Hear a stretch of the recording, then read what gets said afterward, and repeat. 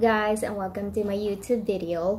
Today, isi-share ko sa inyo kung paano maglagay nito sa inyong YouTube video using using using using Wondershare Filmora 9.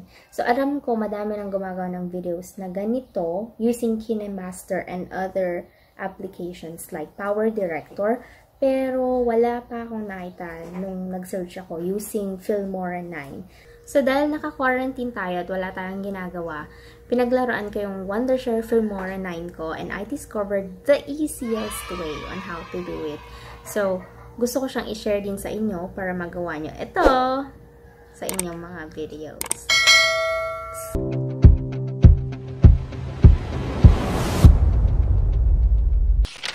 Alright guys, mag-start tayo by opening your Wondershare Filmora 9.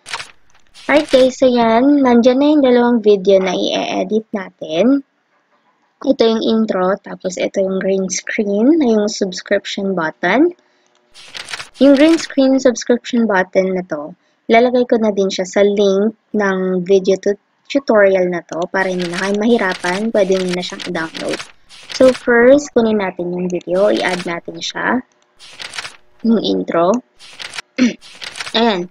So, ipa-play na natin siya para alam natin kung saan ilalagay yung green screen. Guys, and welcome to my YouTube video. Today, isi-share ko sa inyo kung paano maglagay nito sa in Ayan. So, dito siya papasok. Nilagyan natin siya ng marker. Ayan. So, alam na natin dyan natin siya itatapat. Yan yung marker. And then, let's okay, lagyan natin siya dyan. And then, tong green screen, right-click mo siya and then overwrite. So, nandyan siya. Ngayon, itatap itatapat natin siya dun sa may marker. Ayan.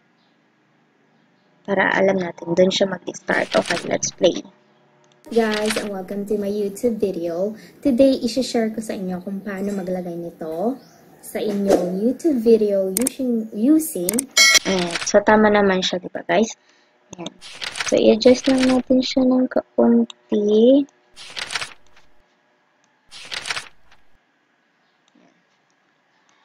So, yun. Di ba may iyan? Naka-cover siya.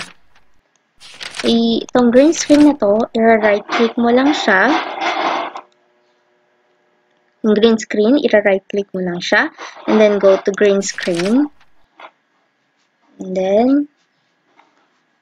click OK.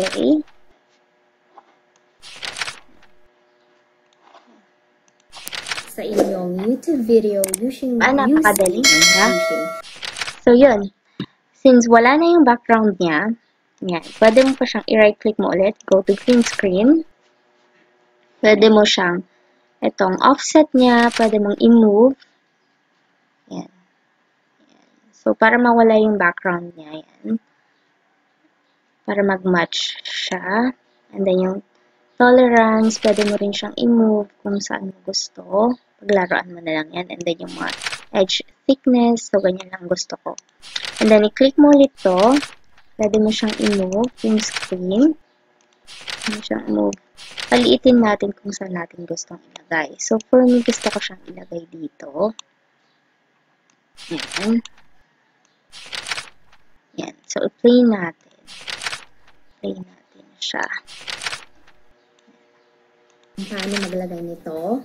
Sa inyong YouTube video using using using using Wondershare Filmora 9. So, hindi siya nakasakto. So, dapat i-move natin para sumakto.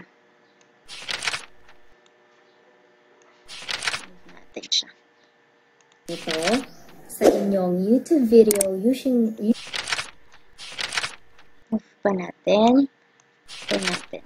So, yan, i-move mo lang siya sa inyong YouTube video using using using using Wondershare. Hey guys, I hope madami kayong natutunan sa video na to na, ayun, may manok, may manok pa kami sa likod. Ngayon, natutunan kayo sa vlog na to, and kung may mga questions pa kayo, may mga gusto pa kayong tutorial na matutunan, please comment down below. Aaralin ko at ituturo ko sa inyo ng mabilisan. Thank you!